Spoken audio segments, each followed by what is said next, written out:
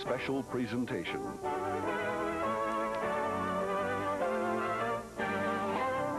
Flying in bad weather can strike fear into the heart of even the most seasoned traveler. Do airlines take the proper precautions when severe weather threatens? New technologies on the horizon will help aircraft avoid bad weather. A newly discovered phenomenon may pose a threat to aircraft today. What new aviation dangers could come out of the blue?